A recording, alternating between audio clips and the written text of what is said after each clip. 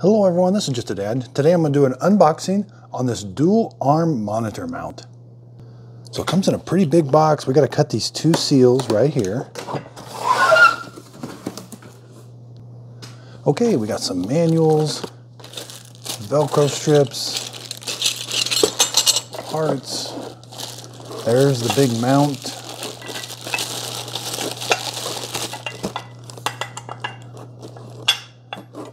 There's what you're going to adjust so it'll clamp onto the desk.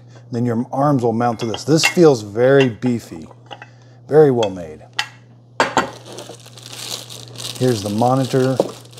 This is what you're going to attach to the monitor, to the back of your monitor, and then you're going to attach this to the arms. Okay, so it comes with two of these arms. These look really nice. I really like the quick disconnect. So you're going to put your monitor in, yeah, that feels very solid. Then to release your monitor. Okay, so it comes with two of these big brackets. You're gonna put the brackets on, and then you, are gonna attach the, the arm to the bracket. There are little Allen screws that you can use to tighten it. So in this arm, it looks like you can run cables in this arm. Feels very well made. Yeah, same with this. You can run some cables. There's a cable holder there. Lots of adjustments everywhere. There is a big sticker. It says adjust spring tension here. So you can adjust how tight this arm, the spring tension is.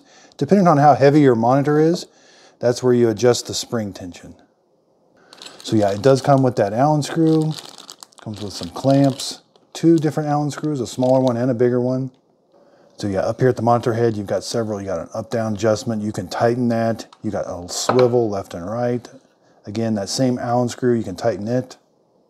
So it looks like some measurements. This arm is right at 15. This arm's gonna get you another, looks like about nine inches. Here's the monitor, so the screws, the top screws are exactly four inches apart. The bottom screws are three inches apart.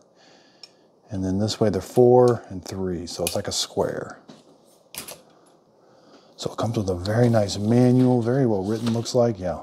Very simple, clear, easy to understand pictures. So I hope this video helps. Thanks everybody for watching.